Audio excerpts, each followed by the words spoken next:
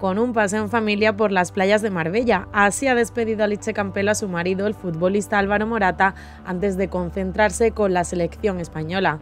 Su mujer le ha deseado que vuelva lo más tarde posible, lo que significaría que la selección se alzase con la victoria de la Eurocopa. Después de pasar unas vacaciones románticas en Grecia, la influencer y el futbolista se han escapado a Marbella con sus tres hijos para poder disfrutar de unos días juntos antes de que Morata ponga rumbo a la competición. Su vuelta a España ha sido breve debido a la apretada agenda del futbolista.